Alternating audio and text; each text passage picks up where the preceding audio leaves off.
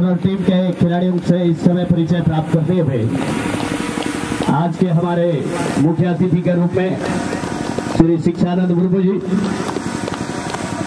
शिव प्रसाद पहाड़िया जी, जो कि प्रखंड अध्यक्ष बेटीपड़ा भारतीय जनता पार्टी के, साथ ही साथ भारतीय जनता पार्टी की कार्यकर्तागण और इस टूर्नामेंट में दिन रात मेहनत करने वाले हमारे इस टूर्नामेंट में पूर्व मुखिया पाउलुस जी टूर्नामेंट के अध्यक्ष श्री राया पहाड़िया जी, जो कि ग्राम प्रधान भी हैं, और साथ ही साथ इस टूर्नामेंट को सफल बनाने के लिए डेविड मालतो जी, बाबूनाथ मालतो जी, और सभी हमारे सम्मानित अतिथिगण अगल बगल गाँव के से आए हुए सभी सम्मानित सदस्यगण, खिलाड़ियों से परिचय प्राप्त करने के लिए यहाँ प्रक्रिया पूरा हो चुका है।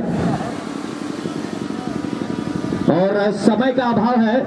हम लोग इसके और यहाँ दूर दराज से आए हुए सभी माता बहने और बच्चेगण, यहाँ उपस्थित हैं तो पत्रकारगण और जो अनाउंस वगैरह कर रहे हैं, क्योंकि बाद में भी बोलना है, समय का कमी है, इसलिए हम इतना ही कहना चाहेंगे।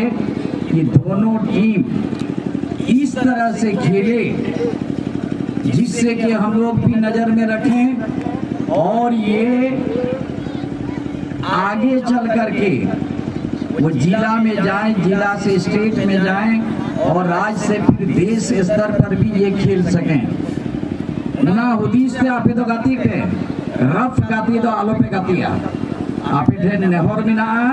बनार टीम फाइनल पे है जे कना अडी कुरुमुटु कते पे है जे कना अदो एकदम तब उन पे। दर्शक सब भी देखेंगे, उनका भी मनोरंजन होगा, आपको खेलने में भी अच्छा लगेगा, और आप एक दिन अच्छे खिलाड़ी के रूप में आप प्रसिद्ध होंगे, आगे बढ़ेंगे, और हम आज देखने आए हैं, वैसा कोई खिलाड़ी अच्छा खिलाड़ी होगा, उसका नाम लेके जाएँगे, और उसको जगह पर पहुँचाने का काम करेंगे। यहाँ जो हमारे पूर्व मुखिया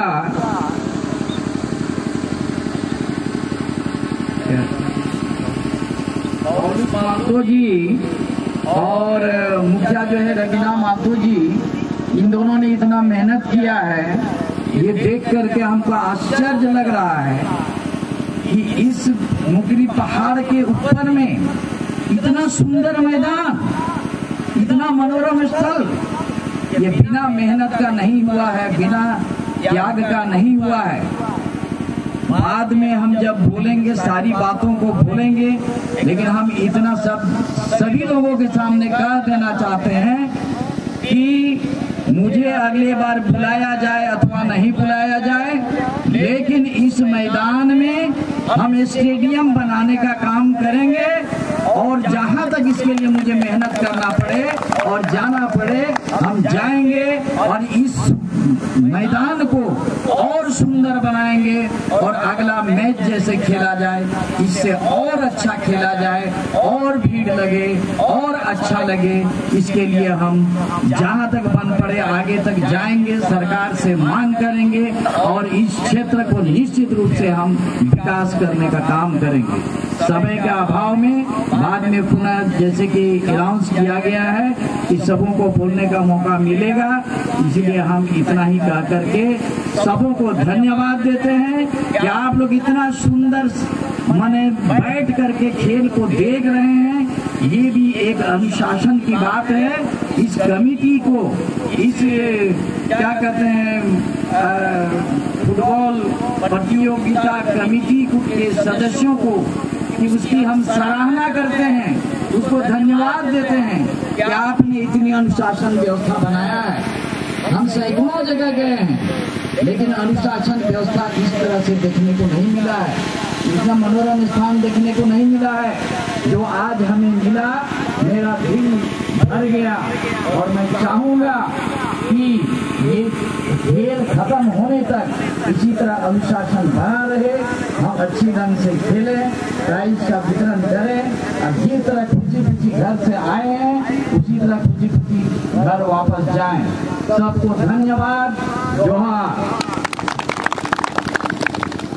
बॉल शॉट कते नडे आबोरे नेता पेड़ा को उनको को हते नडे मैच इथो रिया संकेत हुआ बनाते नेहरवा तोडे शिक्षानंद मुर्मू जी और मैं अध्यक्ष महोदय से भी गुजारिश करूँगा आप भी आए और कहा और एक बॉल नहीं है और एक बॉल फ़ील्ड की तरफ़ फेंक दीजिए हाँ दे दीजिए बॉल दीजिए और मैं चाहूँगा हमारे वर्तमान मुखिया साहिबा, वो भी बॉल को ज़मीन में पटक करके इस फाइनल मैच का वो उद्घाटन करेंगे। चलिए, एक बॉल दे दीजिए हमारे मुखिया साहिबा को भी। मुखिया साहिबा को भी दे दीजिए। हो गया है का प्रक्रिया भी करना है। चलिए ताले होना चाहिए। मैं चाहूँगा मुखिया साहिबा टॉस के ज़रिए। रेफरी महोदय दे दीजिए।